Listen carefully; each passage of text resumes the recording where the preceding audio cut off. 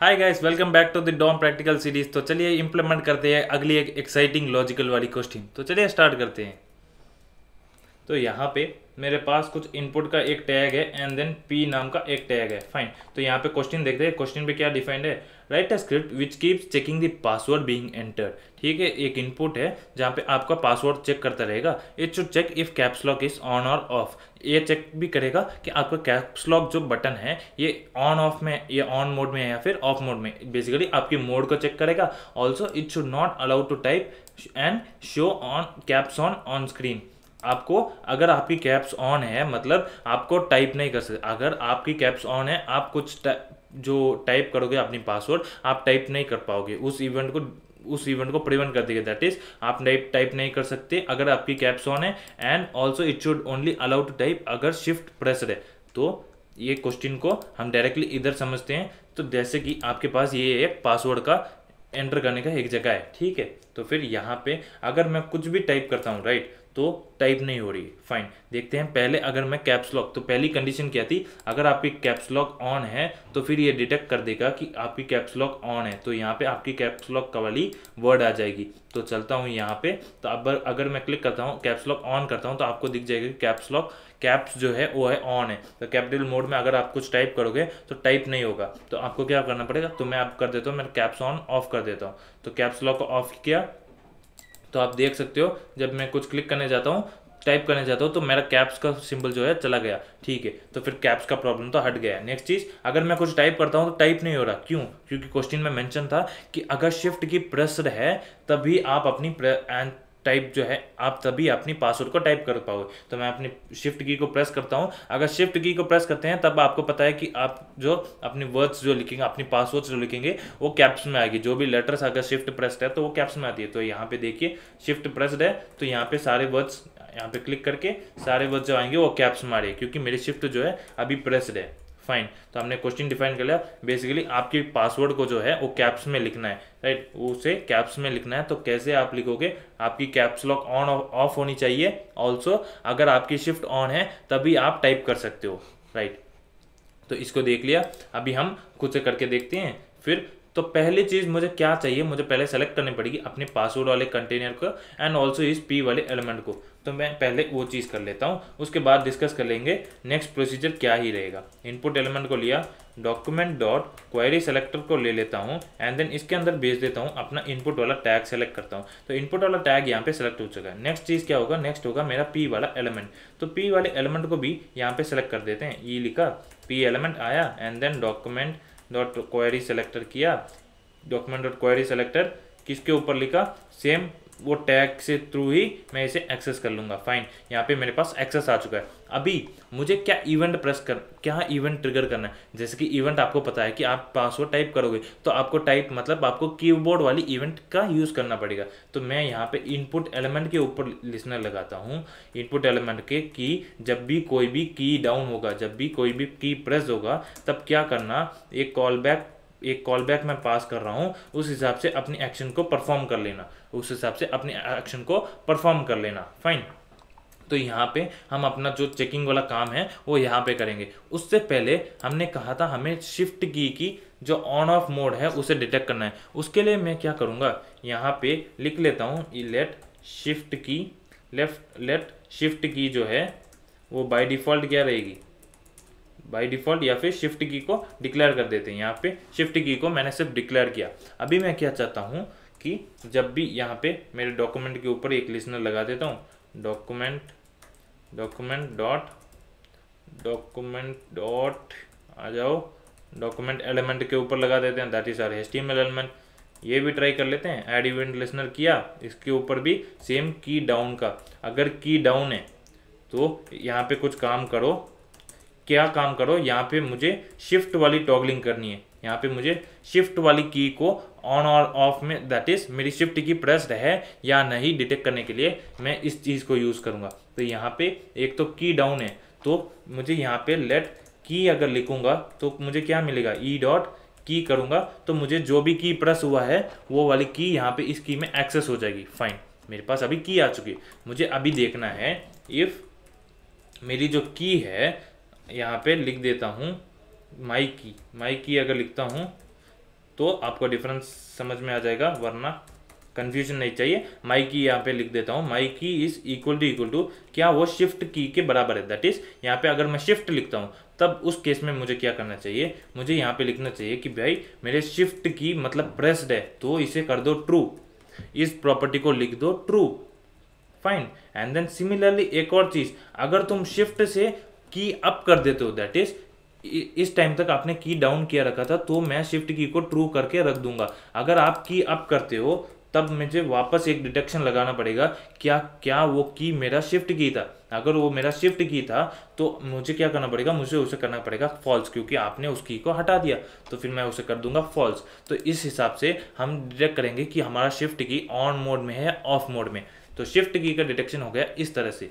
Fine तो simply की down and की अप से हमने शिफ्ट की डिटेक्ट कर लिया। नेक्स्ट चीज़ हमें डिटेक्ट करना पड़ेगा हमारे कैप्स लॉक को। तो कैप्स लॉक को डिटेक्ट करने के लिए थोड़ी अलग तरीका है। क्या करते हैं? यहाँ पे मैं ओपन करता हूँ अपनी क्रोम को ले आते हैं एंड देन इस जगह पे, यहाँ पे मेरी क्रोम आ गई। इसमें बेसिकली सिंपली टाइप करेंगे detect caps lock detect caps lock JavaScript detect caps lock JavaScript event how to detect caps lock आ गया। यहाँ पे देखते हैं डिटेक्ट करने के लिए आप क्या कर सकते हो? यहाँ पे एक इवेंट लिस्टनर लगाया की ऐप का एंड देन यहाँ पे event dot get modify state caps lock करके कुछ है। सेम पैटर्न हम सिंपल सा यही इंप्लीमेंटेशन उठाएँगे, इसी को लिख देंगे। यहाँ पे आए हम एंड देन कंडीशन में चेक करेंगे। पहले ई डॉट गेट मॉडिफाई तो e dot get modify state करके कुछ होता है कि उस की का जो कैप्स लॉक जो भी यहाँ पे लिखूँगा गेट मॉडिफाई स्टेट ऑफ़ किसका? मुझे चाहिए कैप्स लॉक का। यहाँ पे लिखा कैप्स लॉक तो इसके अंदर मुझे जो स्टेट है, मिल जाएगा अपने कैप्स लॉक का। अगर यहाँ पे इफ़ करता हूँ कि अगर मेरा कैप्स लॉक ऑन है तो मुझे कुछ काम करना है। अगर ऑफ़ है तो कुछ काम करना है।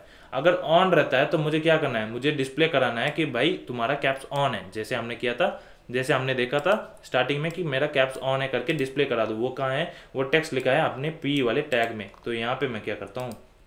यहाँ पे मैं लिखता हूँ, अगर मेरा कैप्स लॉक ऑन है तो मैं लिखता हूँ p dot style p dot style वाला ऑब्जेक्ट है, जिसके थ्रू आप सी एस एस हैंडल कर सकते हो। तो यहाँ पे मैं लिखता हूँ डिस्प्ले डिस्प्ले की प्रॉपर्टी इसको कर देता हूँ ब्लॉक इसकी डिस्प्ले वाली प्रॉपर्टी कर देता हूँ ब्लॉक एंड देन अगर मैं ऊपर देखता हूँ कि आपको दे, आप देख सकते हो कि जो पी वाली एलिमेंट है बाय डिफ़ॉल्ट उसकी नन है।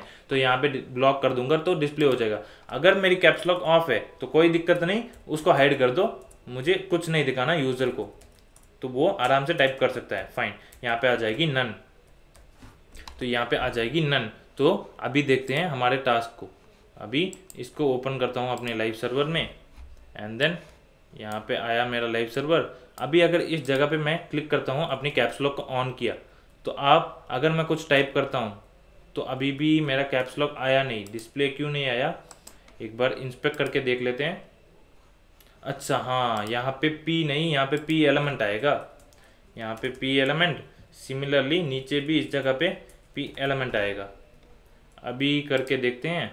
तो ये सेलेक्टर को बदला, यहाँ पे ऑन किया तो आप देख सकते हो यहाँ पे कैप्स ऑन आ चुका है राइट तो अभी मैं कुछ टाइप करके देखता हूँ। भाई, अभी भी टाइप हो रहा है। तो हमें इस चीज़ को प्रिवेंट करना है। क्वेश्चन ने क्या कहा कि अगर कैप्स लॉक ऑन है तो आप type you should not be allowed to type तो इसके लिए मैं क्या करूँगा? हमारे इवेंट के पास एक स्पेशल मेथड होता है, जिसका नाम है इवेंट डॉट प्रिवेंट डिफ़ॉल्ट अगर आपका कैप्स ऑन है, यहाँ पे मैं इस स्टेटमेंट को लिखता हूँ। इस स्टेटमेंट का मीनिंग क्या है? प्रिवेंट डिफ़ॉल्ट क्या है? प्रिवेंट डिफ़ॉल्ट करेगा इस जो, यहाँ पे जो भी, जिस भी एलिमेंट पे लिजनर लगा है, उस एलिमेंट की जो डिफ़ॉल्ट एक्टिविटी है, उसे प्रिवेंट करना। ठीक है तो जान लिया प्रिवेंट डिफ़ॉल्ट कुछ प्रिवेंट डिफ़ॉल्ट वाले काम को रोकता है। बात करते हैं डिफ़ॉल्ट काम है क्या? जैसे कि यहाँ पे इनपुट वाली एलिमेंट है। इनपुट का बेसिक काम क्या है? इनपुट में हम यूज़ क्या करते हैं? टाइप करते हैं। इनपुट का काम है टाइप करना। तो हम उसमें अगर प्रिवेंट डिफ़ॉल्ट लगाते हैं तो उसकी डिफ़ॉल्ट जो एक्टिविटी है टाइप वाली, वो टाइप हम नहीं कर पाएँगे। तो प्रिवेंट डिफ़ॉल्ट क्या करेगा? इस इनपुट वाली जो डिफ़ॉल्ट एक्टिविटी है टाइप करने का, उसे प्रिवेंट कर देगा, आपको टाइप करने से रोक देगा। सिंपल वर्ड्स में, आपको टाइप करने से रोक देगा। अगर कोई फॉर्म है, अगर कोई एक एस का फॉर्म एलिमेंट जैसे आपको पता है तो उसमें अगर आप सबमिट करते हो कुछ डेटा को तो आप कुछ इवेंट लेसन लगाते हो सबमिट करने का। फॉर्म भी एक स्पेशल एलिमेंट है। आप जब भी सबमिट करोगे, वो कुछ अपना डिफ़ॉल्ट काम करेगा बैकएंड वगैरह से रिक्वेस्ट वगैरह बात करने के लिए राइट तो उस जगह पे फॉर्म को सबमिट जैसे आप अपनी लॉगिन करते हो तो लॉग इन बटन क्लिक करते हो सबमिट करते हो तो इमीडिएटली आपके बैकेंड्स के पास जाके, आपकी यूज़र वेरिफिकेशन सब करके आपको देख लेता है। अगर वहाँ पे आप डाल देते हो प्रिवेंट डिफ़ॉल्ट तब क्या होगा? आपकी जो वो बैकेंड वाली जो रिक्वेस्ट चेक करना होता है, उसकी डिफ़ॉल्ट वाली काम है फॉर्म का डिफ़ॉल्ट काम है, उसे रोक देगा राइट तो बेसिकली हर एक एलिमेंट के पास एस्टिमल एलिमेंट के पास कुछ डिफ़ॉल्ट एक्टिविटी है तो इसके थ्रू प्रिवेंट डिफ़ॉल्ट के थ्रू आप उस काम को रोक सकते हो। फाइन तो अब मैं क्या करता हूँ, अभी अगर मैं टाइप करके देखता हूँ, यहाँ पे आया मेरे एलिमेंट पे, यहाँ पे क्लिक किया कैप्स लॉक को किया ऑन कैप्स गया ऑन अभी मैं टाइप करके देखता हूँ तो आप देख सकते हो कोई भी एलिमेंट टाइप नहीं हो रही है मेरे प्रेस करने पर भी.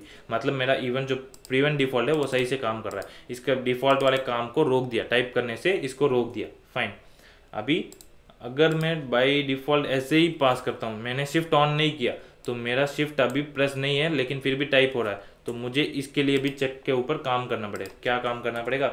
यहाँ पे एक स्टेटमेंट लिखता हूँ। इफ़ कि मेरा स्टेटमेंट है कि मेरी शिफ्ट की अगर ऑन में हो तभी टाइप करने दो। अगर ऑफ़ में हो तो क्या कर दो? उसे टाइप करने से प्रिवेंट कर दो। तो मैं यहाँ पे लिखता हूँ शिफ्ट की यहाँ पे नेगेट डालता हूँ।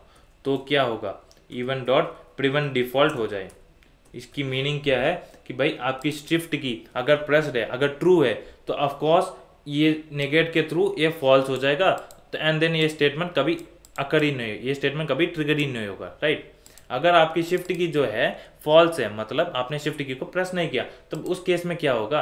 ये स्टेटमेंट चल जाएगा, ये फॉल्स को ट्रू कर देगा नेगेट के थ्रू एंड देन आपकी इवेंट की जो डिफ़ॉल्ट काम है अपनी इनपुट एलिमेंट का, उसके इवेंट को प्रिवेंट कर देगा, उसके जो डिफ़ॉल्ट काम है, उसे प्रिवेंट कर देगा। तो अभी हम चलते हैं हमारे टास्क के ऊपर अभी हम परफेक्टली शायद कर चुके हैं। तो देखते हैं क्या हमने परफेक्टली किया। मैंने किया कैप्स लॉक ऑन मैं करता हूँ टाइप टाइप नहीं हो रहा है। ग्रेट मैंने किया ऑफ़ मैं अभी टाइप करता हूँ। अभी भी टाइप नहीं रहा मैंने किया शिफ्ट को प्रेस किया। अभी कुछ टाइप करता हूँ। मैं, आप देख सकते हो मेरी जो वैल्यूज़ हैं वो आ रही है। अगर मैं शिफ्ट को हटाया तो आप दोबारा कुछ टाइप नहीं कर पाओ शिफ्ट को डाला तो ये थी हमारी टास्क सिंपली था। बस हमें हमारी caps lock and then shift key को डिटेक्ट करने की टेक्निक्स भी सीख ली कि भाई किसी चीज़ को कैसे हम डिटेक्ट करें। तो यहाँ पे हमने शिफ्ट की को हैंडल किया। ऊपर हमने कैप्स लॉक के लिए गूगल करके उसके मॉडिफाइड स्टेट वगैरह ऐसे कुछ प्रॉपर मेथड है। उसके थ्रू हमने पता लगा लिया, ऐसे कर दिया। एंड देन इवेंट और प्रिवेंट डिफ़ॉल्ट का भी जान लिया कि हर एक एस्टिमल एलिमेंट पे कुछ ना कुछ डिफ़ॉल्ट काम होगा।